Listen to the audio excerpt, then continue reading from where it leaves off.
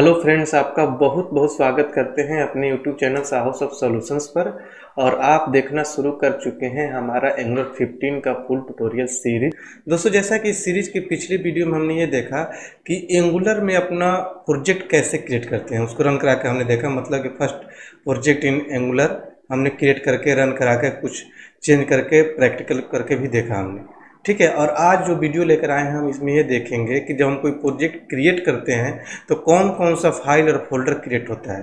मतलब पूरा का पूरा प्रोजेक्ट स्ट्रक्चर के बारे में समझेंगे, क्योंकि जब तक आपको पूरे प्रोजेक्ट के बारे में समझ में नहीं आएगा, तब तक आप एक अच्छा डेवलपर नहीं बन पाएँगे। आपको पता होना चाहिए कि जो हमारे प्रोजेक्ट में बाय डिफ़ॉल्ट फ़ाइल और फोल्डर क्रिएट होकर आया है, किसका क्या यूज़ है? कौन सा फ़ाइल हमें कहाँ पर रखना चाहिए? क्या चीज़ हमें कहाँ पर क्रिएट करना चाहिए? किसका लिंकअप कहाँ से है? ये सब कुछ अच्छे तरीके से आपको आना चाहिए, जो कि इस वीडियो में हम बहुत ही अच्छे तरीके से देखेंगे, प्रोजेक्ट के अंदर जाएँगे एक एक फ़ाइल और फोल्डर का मतलब हम देखेंगे कि किसका कनेक्शन कहाँ से है और कौन सा फ़ाइल का कितना इम्पोर्टेंस है। किसमें हम क्या चेंज कर सकते हैं किसमें नहीं कर सकते हैं, किस फोल्डर में हमें क्या रखना चाहिए everything will be cover in this video तो चलिए स्टार्ट करते हैं इस वीडियो ट्यूटोरियल को। एंगुलर प्रोजेक्ट स्ट्रक्चर के बारे में हम इस वीडियो ट्यूटोरियल में समझेंगे। देखिए सबसे पहले तो हम ये देखेंगे कि एंगुलर प्रोजेक्ट जो हम क्रिएट करते हैं एंगुलर के अंदर कोई भी प्रोजेक्ट क्रिएट करते हैं तो कौन कौन सा फ़ाइल और फोल्डर क्रिएट होता है। हम आपको डायरेक्टली वी एस कोड में लेकर चलेंगे, जहाँ पर हमने प्रोजेक्ट ओपन करके दिखाया था पिछले वीडियो में। वहाँ पर हमने देखा था कि बहुत सारा फ़ाइल और फोल्डर क्रिएट होकर आया था। उसको हमने बस आपको दिखाया नहीं था, समझाया नहीं था कि कौन सा फ़ाइल का क्या मतलब होता है। उन सारे चीज़ों को हम डिटेल्स में आज देखने वाले हैं इस वीडियो ठीक है? तो we know that lots of file and folder are generated whenever we create a new project in Angular आप लोग को ऑलरेडी आइडिया है। जैसे कि हमने पिछले वीडियो में देख रखा है कि बहुत सारे फ़ाइल फोल्डर क्रिएट होते हैं। ठीक है तो चलिए डायरेक्टली हम ओपन करके दिखाते हैं, फिर उसके बाद मैं आप लोग को अगेन स्क्रीन पर भी सारा थ्योरेटिकल पार्ट भी दिखाऊँगा। सारा थ्योरी मैंने यहाँ पर लिख रखा है कि किसका क्या मतलब होता है, लेकिन इसको बेहतर ये है कि मैं आपको डायरेक्टली प्रोजेक्ट में लिए चलूँ और प्रोजेक्ट में समझाऊँ कि किस फ़ाइल और फोल्डर का क्या मतलब है। तो ये है हमारा प्रोजेक्ट माई एंगुलर ऐप जो हमने पिछले वीडियो में क्रिएट किया था। इस प्रोजेक्ट के अंदर हम देखेंगे कि एंगुलर में जो भी प्रोजेक्ट हम क्रिएट करते हैं तो उसमें कौन कौन सा फोल्डर और फ़ाइल क्रिएट होता है? किसका क्या रोल है और किसका क्या इंपॉर्टेंस है? तो सबसे पहले देखिए, जो पहला फोल्डर है डॉट एंगुलर ये फोल्डर एंगुलर 13 से क्रिएट होने लगा है, इस वर्जन में भी क्रिएट हुआ है। ये कैसे के लिए क्रिएट होता है? जब भी आप कोई प्रोजेक्ट क्रिएट करते हैं तो उस टाइम ये फोल्डर नहीं रहेगा। जैसे ही उस प्रोजेक्ट को आप रन कराते हैं एनजी सर्व करते हैं तो ये फोल्डर क्रिएट हो जाता है। तो पिछले वीडियो में हमने इसको रन कराया था तो ये फोल्डर क्रिएट हो चुका है। आप इसको डिलीट भी कर सकते हैं। डिलीट करेंगे जैसे ही दोबारा इस प्रोजेक्ट को रन करेंगे ये फोल्डर क्रिएट हो जाएगा। उसके नीचे एक dot V S code name का एक फोल्डर क्रिएट हुआ है। ये एंगुलर 14 से क्रिएट होने लगा है। ये विजुअल स्टूडियो कोड का सपोर्टिंग फोल्डर है। कुछ एक्सटेंशन वगैरह सपोर्ट करते हैं उसके लिए है। ठीक है? इन दोनों फोल्डर का कोई आपके प्रोजेक्ट से आ, मतलब नहीं है, आप इसमें ना कुछ चेंज करेंगे, ना कुछ करेंगे, ठीक है? आप इन दोनों को डिलीट भी कर सकते हैं, कोई फ़र्क नहीं पड़ेगा आपके डेवलपमेंट पर, ठीक है? अगला है, जो मेन फोल्डर है नोड मॉड्यूल्स ये सारे प्रोजेक्ट में आपको मिलेगा नोड मॉड्यूल ठीक है? आपको जब हम इंस्टॉलेशन सिखा रहे थे तो हमने आप लोग को वहाँ पर बताया था कि हम नोड जी भी इंस्टॉल करते हैं, और जैसे ही नोड जी इंस्टॉल करते हैं तो वहाँ पर एनपीएम अपने आप इंस्टॉल हो जाता है, जिसे हम बोलते हैं नोड पैकेज मैनेजर तो वही एनपीएम जो है इस नोड मॉड्यूल फोल्डर को क्रिएट किया है। जब आप प्रोजेक्ट को क्रिएट करते हैं तो आपके इस प्रोजेक्ट में बहुत सारे डिपेंडेंसी बहुत सारे लाइब्रेरीज अपने आप इंस्टॉल होते हैं with help of NPM NPM के हेल्प से अपने आप इंस्टॉल हो जाते हैं और वो किस लिए इंस्टॉल होते हैं? जो आपके प्रोजेक्ट को सपोर्ट करने के लिए, प्रोजेक्ट को डेवलप करने में आपको सपोर्ट करते हैं वो सारे लाइब्रेरीज। तो इसको जैसे ही आप एक्सपेंड करते हैं, देखिए बहुत सारे फोल्डर आपको मिलेंगे। बहुत सारे फोल्डर फोल्डर के अंदर फोल्डर उसके अंदर फोल्डर बहुत सारे फोल्डर मिलेंगे। मतलब कि बहुत सारे डिपेंडेंसीज आपके प्रोजेक्ट में बाय डिफ़ॉल्ट इंस्टॉल हो जाते हैं। देखिए इतने सारे डिपेंडेंसीज ये कौन किया है? एनपीएम किया है। ठीक है? और इसका जो रेफरेंस है पैकेज डॉट जेसन फ़ाइल और package log dot JSON file में अवेलेबल है। ठीक है? कहने का मतलब यह है कि जितने भी डिपेंडेंसी इंस्टॉल है, होता है, उसका जो फोल्डर है नोड मॉड्यूल के अंदर अवेलेबल है और उसका जो रेफरेंस है पैकेज डॉट जेसन फ़ाइल और package log dot JSON file के अंदर देख सकते हैं। ठीक है? तो इन दोनों फोल्डर के बारे में दोनों फ़ाइल के बारे में पैकेज डॉट जेसन फ़ाइल और package log dot JSON file के बारे में मैं सेपरेट वीडियो दूँगा। वहाँ पर आप लोग को इन दोनों फ़ाइल के बारे में डीपली समझाऊँगा कि इन दोनों फ़ाइल का क्या रोल है। किसके अंदर क्या होता है और किसके अंदर क्या नहीं होता है। इन सब के बारे में बिल्कुल ही सेपरेट वीडियो इस वीडियो के बाद तुरंत हम अपलोड करेंगे, उसको देखिएगा, क्योंकि बहुत ही इंपॉर्टेंट ये फ़ाइल है। तो आप बोल सकते हैं कि नोड मॉड्यूल जो फोल्डर है कंटेनर है, जो कंटेन करता है आपके प्रोजेक्ट में इंस्टॉल पैकेजेस के फोल्डर को। ठीक है उनका रेफरेंस पैकेज डॉट फ़ाइल और package dot log dot file में अवेलेबल होता है। ठीक है? तो ये बहुत ही हैवी फोल्डर होता है। आप इसको डिलीट भी कर सकते हैं। डिलीट करके और टर्मिनल में जाकर न्यू टर्मिनल करके और यहाँ पर आप लिखेंगे एन पी एम इंस्टॉल तो अपने आप फिर ये फोल्डर आपके इस प्रोजेक्ट में क्रिएट हो जाएगा और उसके अंदर जितने भी फोल्डर हैं, सारे अपने आप आ जाएँगे। ठीक है तो अब आपको लग रहा होगा कि आएँगे कहाँ से? तो इनका जो रेफरेंस है, इन दोनों फ़ाइल के अंदर है पैकेज डॉट जेसन फ़ाइल और package lock dot JSON file के अंदर तो वहाँ से ये पिक कर लेगा। वहाँ से जाकर इन दोनों फ़ाइल का जो रेफरेंस है, वहाँ से पिक करेगा और उन सारे पैकेज को इंस्टॉल करेगा और उनका फोल्डर इस फोल्डर के अंदर बना देगा। अगर आपको अपना प्रोजेक्ट किसी फ्रेंड को शेयर करना है गूगल ड्राइव पर रखना है, पेन ड्राइव देना है तो इसको आप डिलीट करके दे सकते हैं। और बोलेंगे कि उसको विजुअल स्टूडियो कोड में ओपन करके टर्मिनल के अंदर जाकर एनपीएम इंस्टॉल चला लेना तो सारा फोल्डर अपने आप इसके अंदर क्रिएट हो जाएगा और सारे पैकेज अपने आप इंस्टॉल हो जाएँगे। इस, इसके और इन दोनों फ़ाइल के बारे में और फिर डीपली हम अगले वीडियो में आपको समझाएँगे कि कैसे कैसे ये दोनों ये काम करते हैं। इन सब फ़ाइल के अंदर में क्या क्या है, सब कुछ आप लोग को हम दिखाने वाले हैं। ठीक है, अगला जो फोल्डर है एस आर सी जिसे हम बोलते हैं सोर्स फोल्डर यही आपका प्रोजेक्ट का मेन फोल्डर है। इसको जैसे ही आप एक्सपेंड करते हैं तो आपको इसके अंदर एक ऐप नेम से फोल्डर मिलेगा, जिसको हम बोलते हैं अप्लीकेशन का फोल्डर मतलब कि अपने, अपनी इस एप्लीकेशन के अंदर, इस प्रोजेक्ट के अंदर जितने भी कंपोनेंट मॉड्यूल सर्विस पाइप जो डायरेक्टिव जो भी क्रिएट करेंगे, इसी ऐप फोल्डर के अंदर ही क्रिएट करते हैं। तो जैसा कि मैं पिछले वीडियोज़ में बता रखा है मैंने कि जब भी कोई प्रोजेक्ट क्रिएट करते हैं तो अपने आप एक मॉड्यूल का फ़ाइल क्रिएट होकर आता है, ठीक है? उसके बाद अपने आप एक कंपोनेंट क्रिएट होकर आता है। जब कोई कंपोनेंट क्रिएट होता है तो चार फ़ाइल क्रिएट होता है तो उसका T S file steel file C file और aspect dot T S file, ठीक है? तो चारों के कंपोनेंट का फ़ाइल है मतलब जो डिफ़ॉल्ट कंपोनेंट क्रिएट हुआ है, उन, उस कंपोनेंट का चारों फ़ाइल है और ये मॉड्यूल का फ़ाइल है, ये अपने आप क्रिएट होकर आए हैं। ठीक है?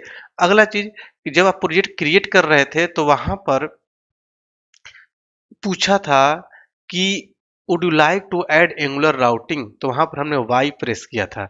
वाई जैसे ही प्रेस करते हैं तो app routing dot module dot T S file अपने आप क्रिएट हो जाता है। राउटिंग का फ़ाइल है। ठीक है?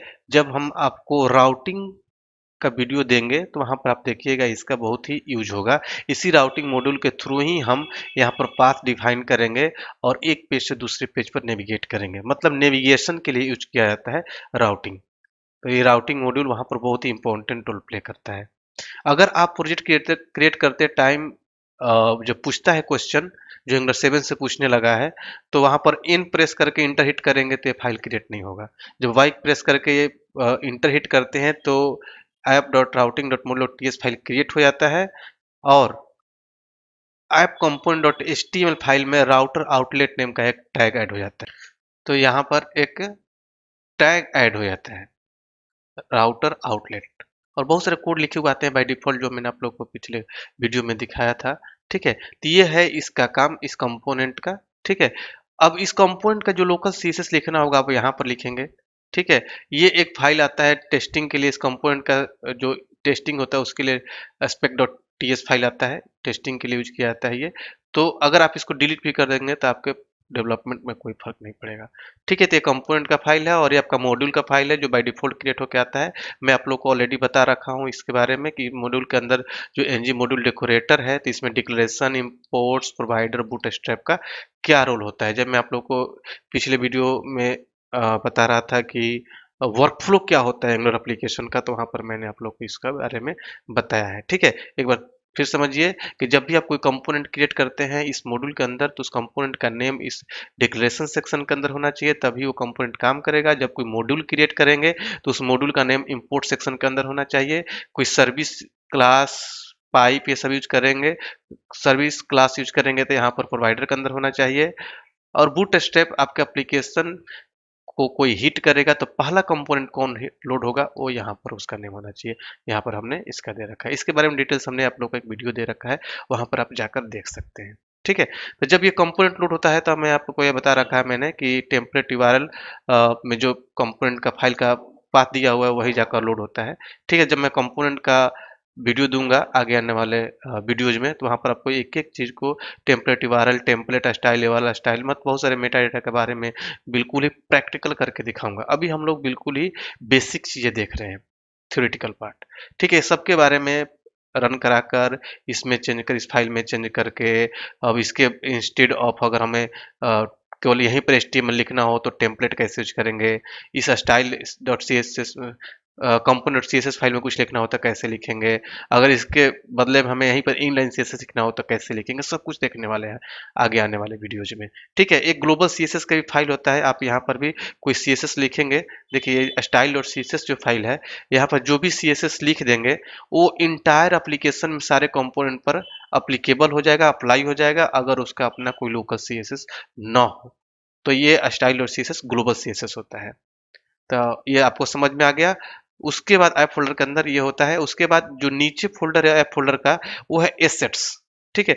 एसेट्स फोल्डर जो होता है थर्ड पार्टी जितने भी आइकन्स हो गए इमेजेज हो गए, वो रखने के लिए दिए गए हैं। जैसे होता क्या है कि बहुत सारे डेवलपर जब किसी दूसरे टेक्नोलॉजी में काम करते हैं तो अपने मन से कोई भी फोल्डर बनाया उन्होंने और उसमें इमेजेज रख दिए कोई आया माई इमेज नेम से फोल्डर बनाया, उसमें रख दिया। कोई मेरा फ़ोटोज़ नेम से इमेज फोल्डर बनाया, उसमें इमेज रख दिया, उसका रेफरेंस दे देते हैं। तो वहाँ पर थोड़ा सा प्रोजेक्ट को हैंडल करना और आइडेंटिफाई करना कौन सा इमेज कहाँ से आ रहा है, ये सब थोड़ा सा मैनेज करने में प्रॉब्लम होता है, इसलिए एंग्लो ने एक प्लेस दे दिया है कि कोई भी आपको इमेज रखना होगा, भले ही आप कोई अपने नेम से कोई फोल्डर बना लीजिए, लेकिन वो फोल्डर इस एसेट्स फोल्डर के अंदर ही होना चाहिए, ताकि आइडिया लगे कि ये थर्ड पार्टी इमेजेज और आइकन यहीं से आ रहे हैं। तो ये जितने भी थर्ड पार्टी आपको आइकन इमेज रखने होंगे एसेट फोल्डर के अंदर ही रखेंगे। आगे जब मैं वीडियो दूँगा, जब रखूँगा तो आपको दिखाऊँगा, यहीं पर हम रखेंगे, तब उसका रेफरेंस शेयर करेंगे। उसके बाद आपको दिख रहा है, अगला जो फ़ाइल है फेविकॉन डॉट आई जब कोई प्रोजेक्ट रन कराते हैं तो आप देखते होंगे टाइटल में यहाँ पर एक आइकन बन के आता है, वही आइकन है। अगर आपको अपने प्रोजेक्ट का कोई आइकन रखना है तो इस फेविकॉन डॉट आई को रिप्लेस कर दीजिएगा तो आपका आइकन वहाँ पर इमेज दिखने लगेगा। उसके बाद आता है index dot H T M L index dot H T M L जो है, यही आपका मेन फ़ाइल है जो आपके ब्राउज़र में दिखता है। मैंने ऑलरेडी बता रखा है कि जब आपका कोई कंपोनेंट लोड होता है या अनलोड होता है तो इंडेक्स डॉट एच पर ही होता है। यही एक सिंगल पेज है आपके प्रोजेक्ट के अंदर। बाकी सारे कंपोनेंट होते हैं। इसीलिए एंगुलर में बने एप्लीकेशन को सिंगल पेज एप्लीकेशन बोला जाता है, क्योंकि इसमें एच का फ़ाइल केवल एक ही होता है। बाकी सारे कंपोनेंट होते हैं। तो जो भी कंपोनेंट आप डायनेमिक या स्टैटिक लोड करते हैं इंडेक्स डॉट एच पर ही लोड होता है। ठीक है? तो यही आपके ब्राउज़र में होता है। देखिए, यहाँ पर ऐप रूट टैग डाला हुआ है सिलेक्टर डाला हुआ है। ये सिलेक्टर ऐप कंपोनेंट का है। देखिए ऐप रूट यहीं पर इंडेक्स डॉट एच पर ही ऐप कंपोनेंट जाकर लोड हो रहा है। तो आपके ब्राउज़र पर जाकर दिखेगा। ठीक है? अगर मैं आपको एनजी सर्व कर देता हूँ, तब तक आपको दिखा भी दूँगा। एनजी सर्व कर देता हूँ रन होगा। तब मैं दिखाऊँगा कि यहीं पर ऐप कंपोनेंट जो है, ये लोड होगा। और इसमें अब ऐप कंपोनेंट लोड होगा तो इसका ये एस का फ़ाइल लोड होगा तो मैं दिखाऊँगा कि जो मैं यहाँ पर लिखा हूँ welcome to sauce of solution यही दिखेगा, अगर मैं कुछ चेंज कर दूँगा तो वो दिखने लगेगा। तो तब तक रन हो रहा है, तब तक आगे देखते हैं। तो उसके बाद आता है main dot T S file देखिए main dot T S file क्या है कि यहीं से जब भी आपके एप्लीकेशन को कोई हिट करता है तो फ़र्स्ट टाइम आपका compiler main dot T S file के पास ही आता है। ठीक है, यहीं पर बूट स्ट्रैप मॉड्यूल लिखा हुआ है। मतलब कि यहीं से उसको पता चलता है ये कौन से मॉड्यूल को लोड करना है। आप जब यहाँ पर देख रहे थे कि कंपोनेंट के अंदर लिखा हुआ मॉड्यूल के अंदर लिखा हुआ है कि ये कंपोनेंट लोड करना है तो कभी किसी कंपोनेंट को लोड करने से पहले पता होना चाहिए कि वो कंपोनेंट किस मॉड्यूल का है। तो तो मॉड्यूल पता करने के लिए कंपाइलर को सबसे पहले यहीं आना होगा मेन डॉट फ़ाइल के पास। यहीं पर मिलेगा बूट स्टेप मॉड्यूल कि ये ऐप मॉड्यूल में जाओ। तो ऐप मॉड्यूल का पाथ कहाँ है? ऐप ऐप फोल्डर के अंदर ऐप मॉड्यूल, ठीक है? तो यहाँ पर आपको ऐप फोल्डर के अंदर ऐप मॉड्यूल के पास आएगा, तब यहाँ पर उसको कंपोनेंट मिल जाएगा और कंपोनेंट को लोड कर देगा। तो ये मेन डॉट टी फ़ाइल का रोल है, ठीक है? उसके बाद आप देख रहे हैं स्टाइल डॉट सी फ़ाइल इसको हम बोलते हैं ग्लोबल सीएसएस का फ़ाइल उसके बाद देखिए नीचे एडिटर कन्फिग ये एडिटर कन्फिग जो है टीम वर्क के लिए दिया गया है। जब आप टीम में काम करते हैं, जब किसी कंपनी में काम करते हैं तो एक ही प्रोजेक्ट पर बहुत सारे डेवलपर काम करते हैं। बीस लोग, पच्चीस लोग मतलब ट्वेंटी फाइव पीपल, डेवलपर जो होते हैं, या फिफ्टीन डेवलपर एक साथ काम करते हैं। तो कोई एक किसी पेज पर काम कर रहा है, कोई किसी पेज पर काम करे, कोई किसी पेज पर काम कर रहा है गीट या फिर टीएफएस पर लोग काम करते हैं, ठीक है? तो टीम वर्क के लिए अगर हम काम करने के लिए ऐसे ही दे दें या किसी को बोले नहीं कि ये कोडिंग स्टैंडर्ड मेंटेन करना है तो कोई अपने पेज पर अपने तरीके से कोड कर रहा है, कोई अपने पेज पर अपने तरीके से कोड कर रहा है, कोई वेरिएबल का वेरिएबल का नाम कुछ और तरीके से रहा है, कोई फ़ंक्शन का नाम किसी और तरीके से ले रहा है। जब उस प्रोजेक्ट को हम माइग्रेट करेंगे बाइंड अप करेंगे तो हमारा यूनिक प्रोडक्ट नहीं निकल पाएगा। तो इसलिए हम क्या करते हैं कोडिंग स्टैंडर्ड एक मेंटेन करके चलते हैं कि आप सभी लोग को इसी कोडिंग स्टैंडर्ड को फॉलो करना होगा। तो उसके लिए एंगुलर ने दे दिया कि एटन करफिक के अंदर जो आपका प्रोजेक्ट मैनेजर होगा, जो आर्टिकेट लेवल का लेवल का बंदा होगा, वो यहाँ पर रूल डिफाइन कर देगा कि कैरसेट क्या होना चाहिए अंडर स्टाइल क्या होना चाहिए नेट साइज़ क्या होना चाहिए। अब इस रूल को डिफाइन कर देगा और इसका एक्सेस किसी डेवलपर के पास नहीं होगा।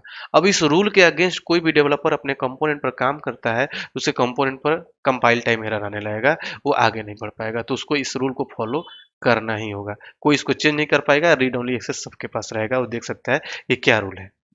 तो ये होता है टीम वर्क करने के लिए।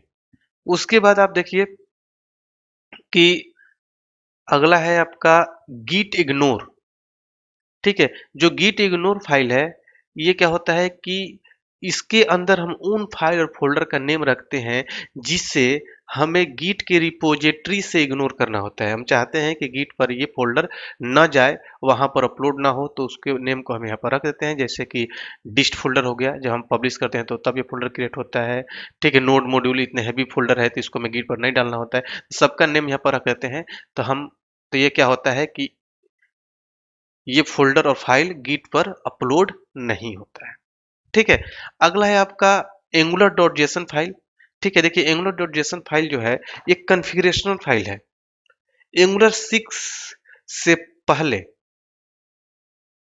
इस फ़ाइल का नाम था Angular dash C L I dot JSON अगर आप किसी पुराने प्रोजेक्ट पर काम करेंगे एंगुलर फाइव पर फोर पर टू पर तो वहाँ पर आपको इस फ़ाइल का name Angular dash C L I dot JSON file के नेम से मिलेगा।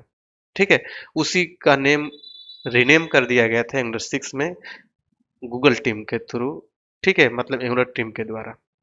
अब ये फ़ाइल क्या कंटेन करके रखता है? ये कन्फिग्रेशनल फ़ाइल है, जितने भी मेन मेन फाइल्स हैं ठीक है, सबका रेफरेंस पाथ यहाँ पर है। जैसे मान लीजिए इंडेक्स कहाँ पर एसआरसी के अंदर है मेन कहा है? एसआरसी के अंदर डिस्ट के अंदर क्या है? ये सब कुछ आपको यहाँ पर बताएगा। यहाँ तक कि जब आप कोई थर्ड पार्टी जे क्वेरी या किसी का फ़ाइल यूज़ करेंगे तो उसका पाथ यहाँ पर स्क्रिप्ट के अंदर रखना होगा। आप इजिली जे क्वेरी को यूज़ नहीं कर सकते हैं। उसको आपको यहाँ पर इंस्टॉल करने, करना पड़ेगा। इंस्टॉल करेंगे तो उसका फोल्डर नोड मॉड्यूल के अंदर बन जाएगा। ठीक है तो उस फोल्डर का पाथ आपको यहाँ पर स्क्रिप्ट टैग के अंदर रखेंगे, तभी उसको आप यूज़ कर पाएँगे। यहाँ पर लिखना पड़ेगा एनपीएम इंस्टॉल जेक्वेरी इस तरीके से, वो सब कुछ आगे हम बताएँगे, ठीक है कि कैसे जेक्वेरी इंस्टॉल करते हैं, कैसे यूज़ करते हैं। अगर आप कोई बूट स्टेप यूज़ कर रहे हैं तो बूट स्टेप जब इंस्टॉल करेंगे तो उसका भी फोल्डर नोट मॉड्यूल के अंदर बन जाएगा, ठीक है? और उसका पाथ आप स्टाइल्स के अंदर यहाँ पर कॉमा लगा नीचे रखेंगे, तभी उसको यूज़ कर पाएँगे। तो मतलब ये कंटेन करके रखता है फाइल्स के पाथ को, ठीक है? उसके बाद आता है दो main file packet dot JSON file ठीक है? और एक होता है आपका package lock dot JSON file इन दोनों फ़ाइल के बारे में मैं सेपरेट वीडियो दूँगा इस वीडियो के बाद। उसको हम डिटेल्स में देखेंगे कि इसके आ, ये क्या क्या कंटेंट करके रखता है। इसमें किसका क्या मतलब है? जैसे यहाँ पर आ, सारे पैकेज और उसका वर्जन का नेम दिया हुआ है उसमें कैरेट लगा हुआ है टिल लगा हुआ है। इसका मतलब क्या होता है? थ्री डिजिट क्या का मतलब क्या होता है? सब कुछ हम समझेंगे अगले वीडियो में। बहुत ही इंपॉर्टेंट वीडियो होगा अगला। ठीक है? उसके बाद आपका है फ़ाइल रीडमी रीडमी फ़ाइल जो होता है इन्फॉर्मेशनल फ़ाइल होता है। ठीक है, जैसे आप जब भी कोई सॉफ्टवेयर अगर डाउनलोड करते हैं गूगल से या कहीं भी डाउनलोडल डाउनलोडेबल सर्वर से तो आप देखे होंगे रेडमी का फ़ाइल आता है नोटपैड उसमें लिखा हुआ रहता है कि ऐसे ऐसे इंस्टॉल करो, इसका फ़ाइल ऐसे रखो, यहाँ से ऐसे रन करो। उसी तरीके से रेडमी का फ़ाइल है, यहाँ पर लिखा हुआ है कि इस तरीके से रन करो, इस पाथ पर जाकर देखो। आप भी चाहें तो इसमें कोई इन्फॉर्मेशन ऐड कर सकते हैं। ठीक है? उसके बाद नीचे तीन फ़ाइल दिया हुआ T S config T S config T S config मतलब type script configuration type script configuration मतलब सारे टाइप स्क्रिप्ट कन्फिग्रेशनल फ़ाइल है। ठीक है? इसमें आपको कोई भी चेंज नहीं करना होता है। ठीक है? आप, ये टाइप स्क्रिप्ट का कन्फिग्रेशनल फ़ाइल है। एक जगह आप चेंज करेंगे टी एस कन्फिग में जाकर स्ट्रिक्ट को आप यहाँ पर फॉल्स कर दीजिएगा। ठीक है? तो ये स्ट्रिक्ट क्या हो गया है कि देखिए एंगुलर अराउंड थर्टीन या फोर्टीन से आने लगा है कि स्ट्रिक्ट ट्रू लिखा हुआ आने लगा कि बाई डिफ़ॉल्ट इसको ट्रू कर दिया गया है। ठीक है तो ये क्या करता है कि आप कोड करेंगे तो एक एक छोटी छोटी चीज़ों को पॉइंट करेगा, आपको आगे नहीं बढ़ने देगा, इससे आपको वेरिएबल लेंगे तो बोलेगा तुरंत भी इंसलाइज करो, बिना इंसलाइजेशन के आप आगे नहीं बढ़ पाएँगे। तो उस चीज़ को डेवलपमेंट में थोड़ा सा आपको प्रॉब्लम होगा। तो आप क्या करेंगे कि यहाँ पर फॉल्स कर देंगे तो उस चीज़ को इग्नोर कर देगा। ठीक है तो फॉल्स करके ही आप प्रैक्टिस करेंगे। ठीक है तो ये सारे फ़ाइल फोल्डर का मतलब होता है। चलिए मैं आपको एक बार प्रोजेक्ट को रन कराया मैंने तो आपको दिखा देता हूँ कि ये ऐप कंपोनेंट ही जाकर इंडेक्स पर लोड हो रहा है। यही welcome to sauce of solution दिखेगा। देखिए लोकल हॉस्ट पर मैंने देखा तो localhost forty two hundred पर welcome to sauce of solution आ रहा है, जो यहाँ से आ रहा है। ठीक है अगर मैं यहाँ पर लिखता हूँ कुछ paragraph tag, how are you तो यही जाकर वहाँ पर दिख रहा होगा। हालाँकि ये सब कुछ मैंने आप लोग को बता रखा हुआ रही ठीक है, दिख रहा है। आप चाहें तो इनलाइन एच भी लिख सकते हैं यहाँ पर जाकर। ठीक है, आप टेम्पलेट यू हटाएँगे तो इस एच फ़ाइल का रेफरेंस हट जाएगा और यहीं पर आप टेम्पलेट रख सकते हैं और यहीं पर एच में लिख सकते हैं। ठीक है, लिख लेंगे H one hello world H one close कर दीजिए और यहाँ पर कॉमा लगाइए। तो अब जो इस स्टीन पर जो लिखा हुआ था, यह सब कुछ हट जाएगा और यहाँ पर जो इन लाइन लिखा हुआ, वही आ जाएगा।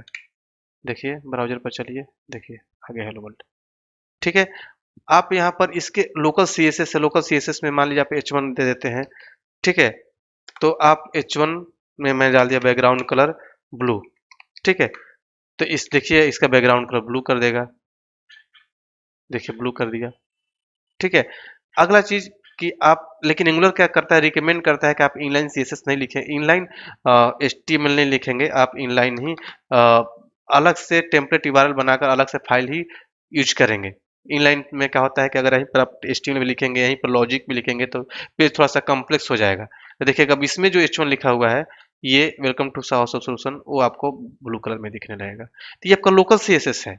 अगर आपका मान लीजिए लोकल सीएसएस नहीं है, इसको हटा दीजिए। लोकल सीएसएस मैंने हटा दिया तो आप स्टाइल डॉट सीएसएस पर कोई सीएसएस लिखते हैं, ठीक है, जैसे मान लीजिए मैंने यहाँ पर एच दे दिया, और यहाँ पर बैकग्राउंड कलर देता हूँ रेड तो देखिएगा कि अब ये रेड अपने आप अप्लाई हो जाएगा, जिसका लोकल सीएसएस नहीं होगा ग्लोबल अप्लाई हो जाएगा। अगर आप लोकल सीएसएस दे देते हैं तो ग्लोबल को क्या करेगा? ओवरराइड कर देगा। जैसे मान लीजिए मैं इसको अनकमेंट कर देता हूँ।